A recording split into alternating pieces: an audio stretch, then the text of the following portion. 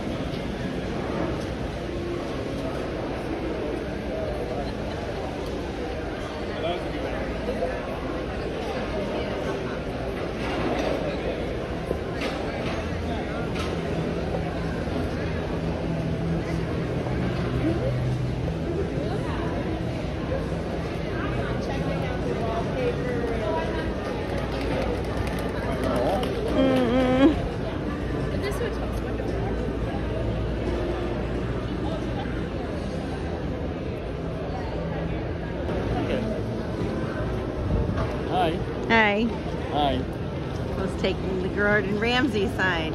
Oh, yeah. oh, boy. Gordon.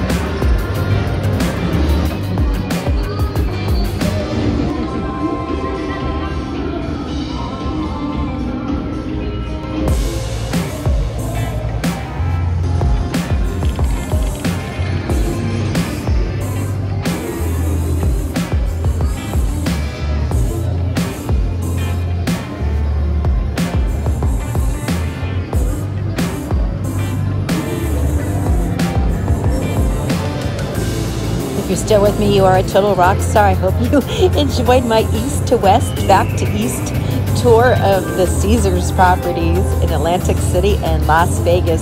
This is your host, Jennifer Sparks. I'm going to leave my Atlantic City playlist and my Las Vegas playlist right here if you want to check out my other videos. And I have a ton more coming up in the future.